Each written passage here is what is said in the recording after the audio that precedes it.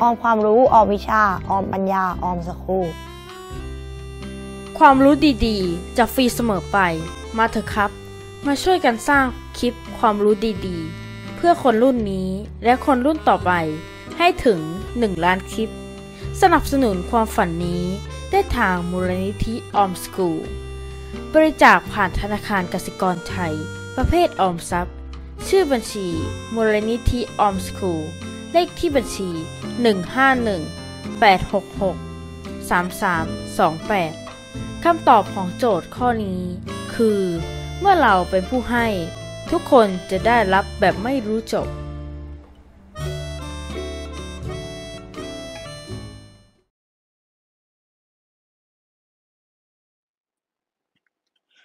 ข้อ 12 นะครับ five congruent small rectangles are joined as shown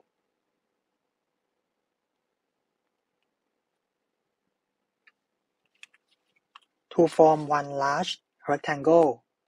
The large rectangle is mathematically similar to each of the small rectangle.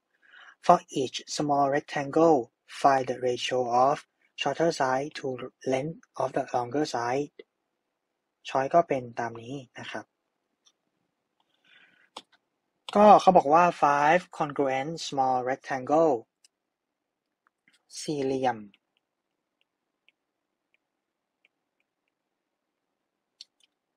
ที่คล้ายที่เหมือนกันห้าอันนะครับ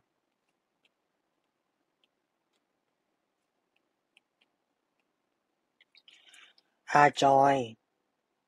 ถูกเชื่อมกัน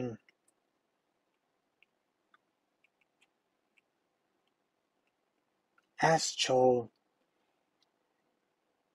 อย่างที่แสดง to form one large rectangle เพื่อ สร้างสี่เหลี่ยม ขนาดใหญ่หนึ่งอัน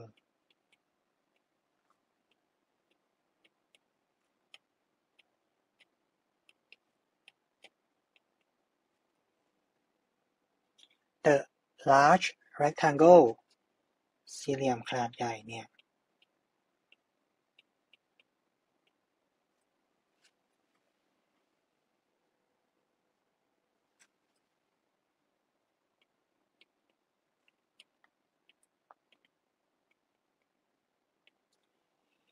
is mathematically similar to each of the small rectangle มีความคล้ายคลึง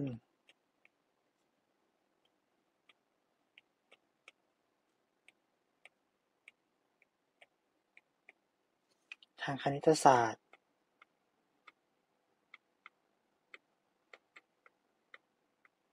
ต่อ the small rectangles สี่เหลี่ยมขนาดเล็ก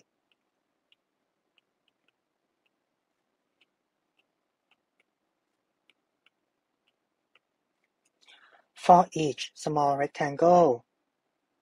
สำหรับ สี่เหลี่ยม ขนาดเล็กแต่ละอัน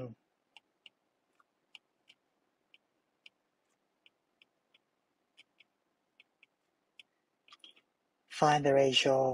หาอัตราส่วน ของ length of the shorter side ความยาวด้านที่สั้น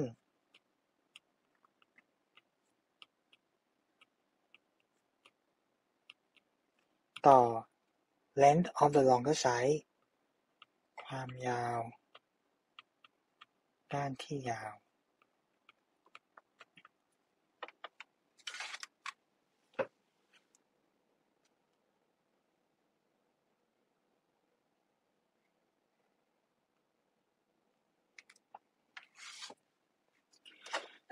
สรุปนะครับ ข้อนี้บอกว่าสี่เหลี่ยมที่เหมือนกันห้าอันเนี่ย ถูกเชื่อมกันอย่างที่แสดงเพื่อสร้างสี่เหลี่ยมขนาดใหญ่หนึ่งอัน สี่เหลี่ยมขนาดใหญ่อันนี้มีความคล้ายคลึงกันทางคณิตศาสตร์ต่อสี่เหลี่ยมขนาดเล็ก อยากให้หาความยาวด้านที่สั้นต่อความยาวด้านที่ยาวของสี่เหลี่ยมขนาดเล็กนะครับคำว่าคล้ายคลึงกันทางคณิตศาสตร์เนี่ยก็หมายถึงด้านที่คล้ายกันหารกันได้อัตราส่วนเท่ากันนั่นเองนะครับ รือก็คือถ้าสมมุติเรามีสี่เหลี่ยมสองอัน ที่คล้ายกันเนี่ย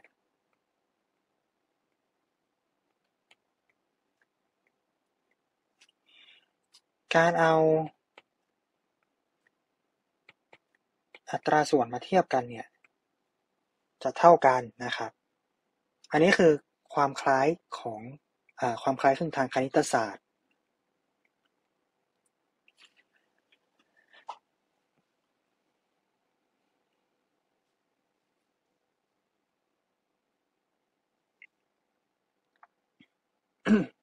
ดังนั้น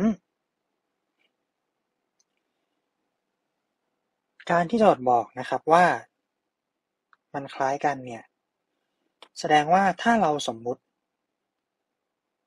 ให้ด้านสั้นเป็น a เนื่องจากว่าเขาถามเขาถามของสี่เหลี่ยมขนาดเล็กนะครับ ให้ด้านยาวของสี่เหลี่ยมขนาดเล็กเนี่ยเป็น b ด้านสั้นเป็น a ด้านสั้นเป็น a ด้านยาวเป็น b แสดงว่าสิ่งที่เราต้องหาเนี่ยคือ a ส่วน b เนื่องจากว่ามันถูกแบ่ง คือห้ารูปนี้เท่ากัน ฉะนั้นตรงนี้ก็จะมีค่าเป็น a ด้วย เนื่องจากว่าสี่เหลี่ยมขนาดเล็ก คล้ายกับสี่เหลี่ยมขนาดใหญ่ แสดงว่า ด้านยาวหารด้านสั้นของสี่เหลี่ยมขนาดเล็ก ต้องมีค่าเท่ากับด้านยาวของสี่เหลี่ยมขนาดใหญ่ ก็คือ 5a หารด้วย ด้านสั้นของสี่เหลี่ยมขนาดใหญ่ก็คือ b อีกรอบนะครับก็คือสี่เหลี่ยมขนาดเล็กเนี่ยมันคล้ายกับสี่เหลี่ยมขนาดใหญ่ ดังนั้น ถ้าเอาด้านยาวของสี่เหลี่ยมขนาดเล็ก หารกับด้านเล็กของมัน จะต้องมีค่าเท่ากับด้านยาวของสี่เหลี่ยมขนาดใหญ่หารด้วยด้านเล็กของมันเช่นกัน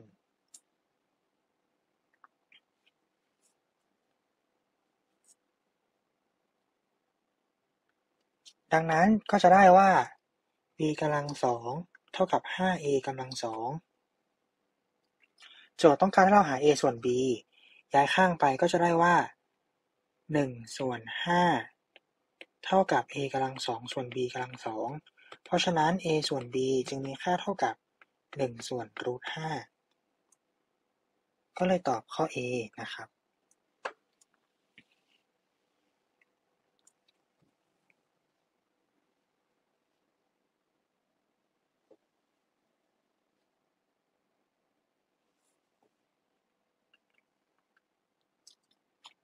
สรุปนะครับข้อ 12 เนี่ยต้องใช้เรื่องของความคล้ายกันของ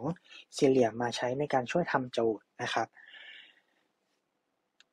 เนื่องจากโจทย์บอกมาว่ามันคล้ายคลึงกันทางคณิตศาสตร์ คือสี่เหลี่ยมใหญ่กับสี่เหลี่ยมเล็กเนี่ยมีความคล้ายคลึงกันทางคณิตศาสตร์ ดังนั้นเนี่ยทำให้เราสามารถจับเป็นอัตราส่วนได้นะครับ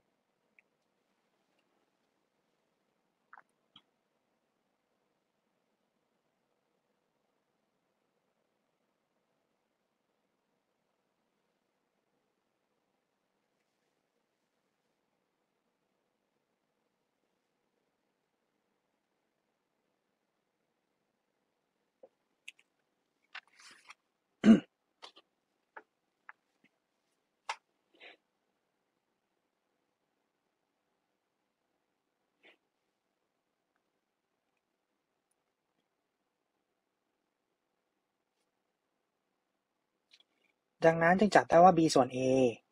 เท่ากับ 5a ส่วน b ย้ายข้างก็จะได้ว่า a ส่วน b เท่ากับ 1 ส่วนรูท5ก็เลยตอบข้อ a นะครับ อันนี้ก็คือข้อ 12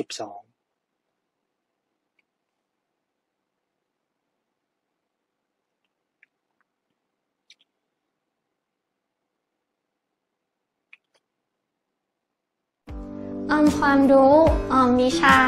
ออมปัญญา ออมสคูล